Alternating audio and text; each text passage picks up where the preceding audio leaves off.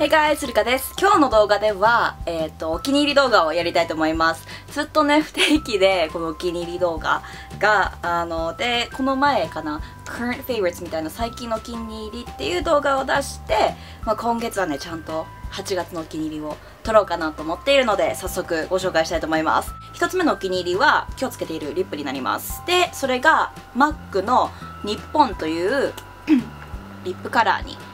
なっています。これはねいつだったっけな？マックのリップ動画の時かな？日本っていうねこちらの色がすごいおすすめと教えていただいたんですけれどもあ先月ねちょうどねマックのリップ新しいの欲しいなと思ったのではいこちらをゲットしてみました。すごい、まあ、普段使いしやすいコーラルピンクカラーになっててどんなメイクでもね合うからめっちゃ気に入ってて今日もつけてみました。でその上に RMK のリップジェリーグロスの5番のシャイニーピンクを塗ってみました。結構いい感じになってます。早速ね本題のフェイバリッツの方へ行きたいと思うんですけれども今月ねまあまああります。はい。まずはどうしようかな。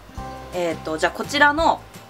アイテムになります。これもリップ系にはなってしまうんですけれどもバースデーホールでも紹介したしあと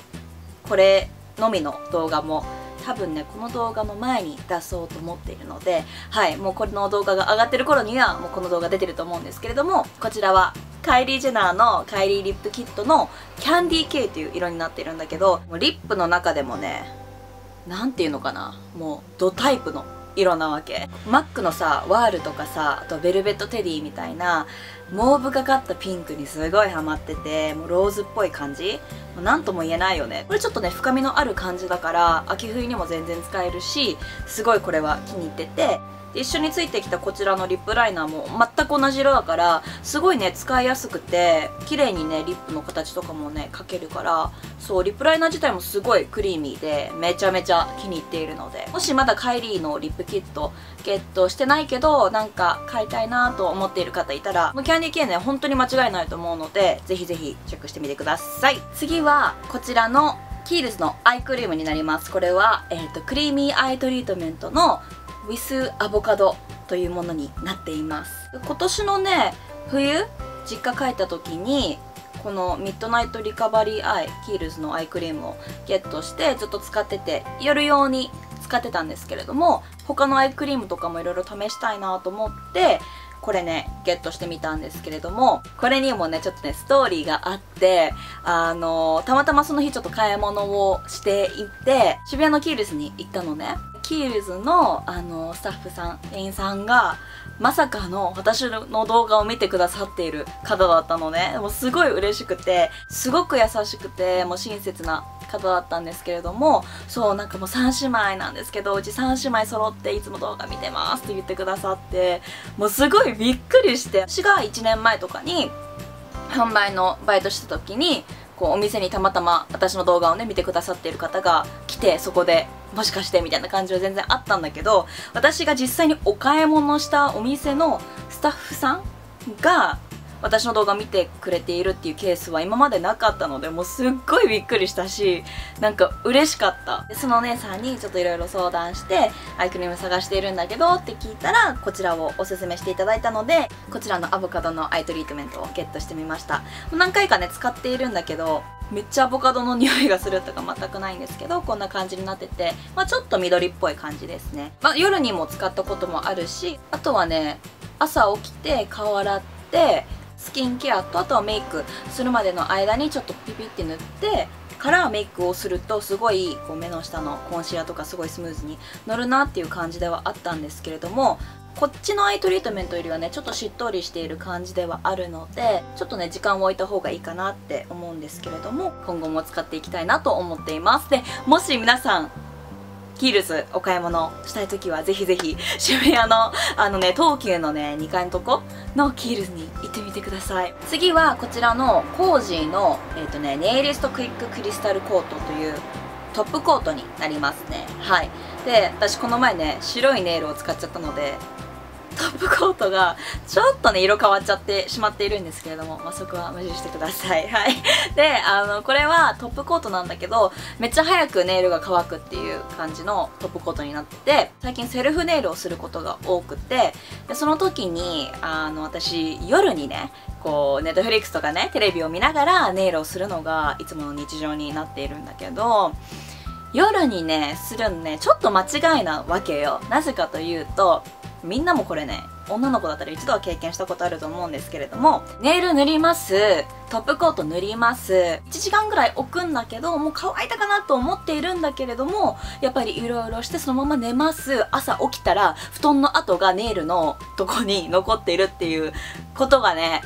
今までね、私何回かあって、こういうね、せっかちだからね、待てない時があるんですよ。でも、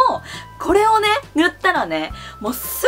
ぐネイルが乾いて、しかもすごい綺麗な状態にでキープしてくれるので、私はね、これすごいね、使ってよかったなと思ったし、おすすめしたいと思います。次はね、カラコンになるんだけど、今日つけているカラコンでありまして、過去にもね、紹介したことがあるかもしれないんですけれども、こちらはラベールのアクアリッチのワンデイソフトコンタクトレンズというものになっていまして、あの、これは倖田來未さんのブランドのカラコンになっているんだけどあのねカラコンの中でも私すごいいろんなタイプをね試してきたことがあるんですけど全部大体ワンデーね。なんだけど一番もうラベールのものが痛くないし漏れるしとにかくなんだろうもう一番私の目と合う相性がいい感じになっているのね。最近結構ナチュラルめなものをねつけることが多くてそうつけようと意識していることが多くて、うん、なぜかわからないけどね。であのいろいろねビーハートビーンのブラウンのやつとかもすごいハマっててつけてたんだけど最近ねこのねクチュールブラウンのやつがめっちゃ好きで今日も実際につけているんだけど縁ありなんだけどすごいなんか細かくなっててあのブラウンの縁なのね。だからすごいナチュラルだしあんまりこうつけてる感が出ないのでちょい盛りしたい時とかあとは普段使いの時にすごくおすすめのカラコンになっています。すごいカラコン大好きな方にはちょっと物足りないかもしれないんですけれども長時間つけても全然目も痛くならないし私も何回もこちらはリピートしてます。いやー今日完全に長くなるね動画。どうしよう。編集が。次はねこれ本当におすすめしたいものなんですけれどもあのこちらのアトマイザーになるんだけど本当に香水が大好きで普段からなるべくこうね香り物は絶対家出る時にはつけるようにしてて香水も結構持っているんだけどボトルがさすごいこう大きかったりこう持ち運びが大変なものがあったりすると思うんですけどそういう時にアトマイザーがすごく便利でで100均とかでも売っているんだけどあの何なんていうの写すのにさ大変だったりするじゃん。だけどこれねすごいね優秀っていうかね楽なので。好きすぎてね2つ持っているんですけどこっちは違う香水が中に入っているんだけど香水のさ上の部分あるでしょ？この上のキャップを取るとこういう感じになるわけね。でこれが上の部分になっているんだけどこのアトマイザーをここに合わせてこうやってねやるだけでどんどん香水がこの中にどんどん溜まってってフルになっていくっていうねす。ごく便利なアイテムになってて下からは絶対香水がねこぼれることがなくてもうこのまま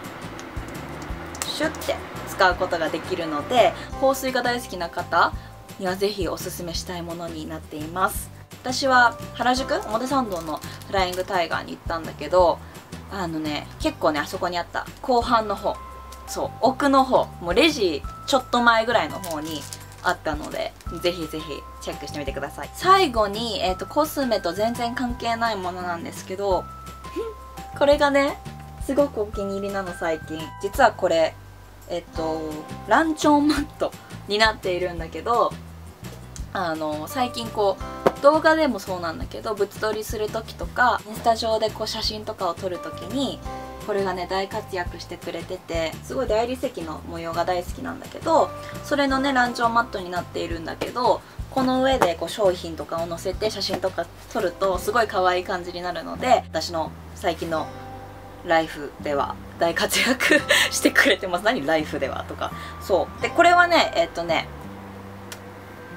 センスオブプレイスっていうのかな。なんかアーバンリサーチの姉妹店だよね。そうそこで買った。最後はねちょっと久しぶりに残念アイテムをね紹介しようかなと思っていまして。もうねちょっと辛いのこれ残念アイテムとして発表するの。でもね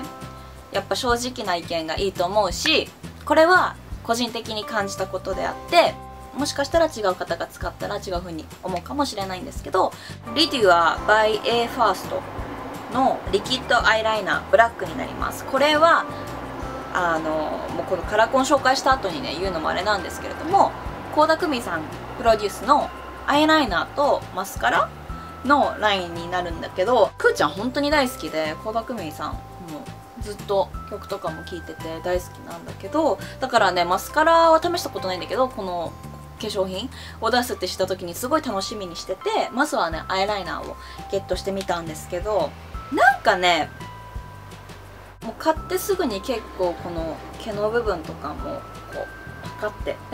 なんていうの折れたりしちゃったしあんまりね安定感がなくてあと色がちょっと薄いかなと思ってしまった部分とかもあって結構一日の後半になるとアイラインが取れたりっていうこともあったので、まあ、もしこれをゲットするんだったら他にいいものがあるかなっていうふうに思ってしまったんだけど例えばどこのアイラインが好きかな私。キングダムとのやつとかもすごい好きだし、うん、